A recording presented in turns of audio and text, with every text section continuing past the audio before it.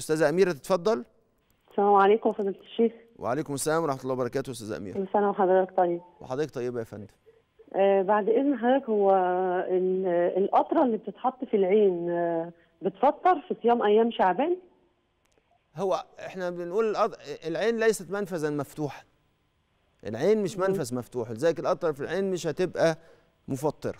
خلاص؟ في شعبان أو غير شعبان. خلاص؟ طيب آه سؤال تاني معلش يا فضيلة اتفضلي اتفضلي. حضرتك إحنا شغالين في العناية المركزة وأحيانا طب، آه، المرضى يعني اسمحوا لي بس اسمحوا لي ادعي أدعي لكم كل الناس اللي في الأطقم الطبية إحنا حاسين بامتنان ليكم جميعا وخاصة في الوقت اللي إحنا فيه دوت وفي الأوقات اللي من ساعة كورونا لغاية دلوقتي وإحنا حاسين إن إحنا لازم نمتن لكم. شكرا لحضراتكم. اتفضلي. فضيلة الشيخ ربنا يديكم الصحة يا رب و... آمين يا رب العالمين. وخاصه في العنايه المركزه بيشوفوا بيشوفوا مدد الله سبحانه وتعالى. اتفضلي. تمام تمام. آه إحنا شغالين في العنايه المركزه فهو ال- المريض أحيانا بيبقى خلاص يعني يعتبر إن الجهاز هو اللي معيشه. صح. يعني يعتبر إن الأدوية والأجهزة بتبقى معيشة ال- المريض. فدلوقتي يعني لما إحنا يعني لو الجهاز اتفصل العيان ه- ينتقل إلى رحمة الله يعني. فدلوقتي إحنا لينا طبعا ده بيبقى لود على الأهل مصاريف على الأهل كتير أدوية وأجهزة. آه، وبعدين إحنا بنحس ان إن هو بياخد الحاجات دي على الفاضي. يعني هو خلاص إحنا يعتبر متوفي بس الجهاز والأدوية اللي معيشين. طيب. هل لو اتفصل العيان يبقى إحنا علينا ذنب؟ لو اتفصل العيان بعد ما الأطباء قالوا قالوا الكلام دوت لا طبعا. لأن هو في الحقيقة خلينا نقول إن الشرع الشريف ما جاش قال حدد شكل معين من التداوي بس.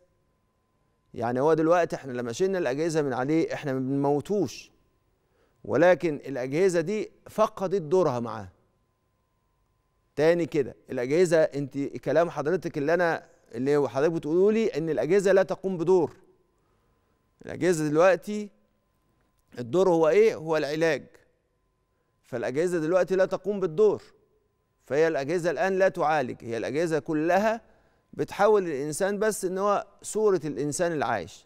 فرفع الأجهزة عنده لما يوصل للحالة دي اللي هو خلاص تيقن آه، تيقن الوفاة خلاص رفع الأجهزة لا يكون حرام. لكن دوت إحنا عارفين إن في إجراءات طبية لازم تتاخد ولازم ت... الكلام ده بيكون بموافقة ال... بموافقة الأهل وإن يكون الإجراء الطبي دوت مقنن ومنضبط بالضوابط اللي هي بتكون حاكمة لده. فإذا كان ده حصل بنفس الطريقة دي فلا بأس من رفع الأجهزة في هذا الوقت.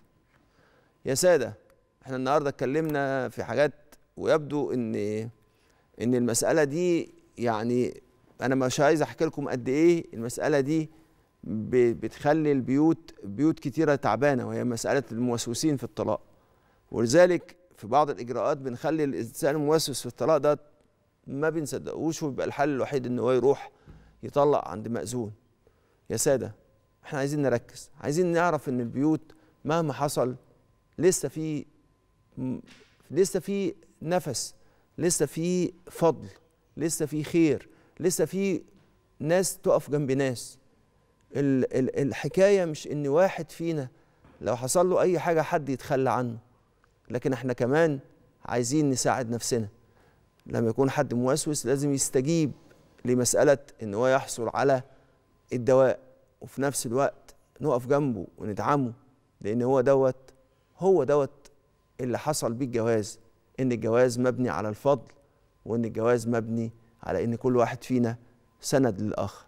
يا رب اجعلنا دايما سند لأحبابنا واجعلنا دايما من أهل الأخلاق الكريمة ومن أهل محاسن الأخلاق واجعل كل واحد منا يحمل الفضل منة منك يا رب العالمين ليصل بها إلى كل عبادك وخاصة من ربطتهم بوثاق وبرباط من نور وهو رباط الزواج.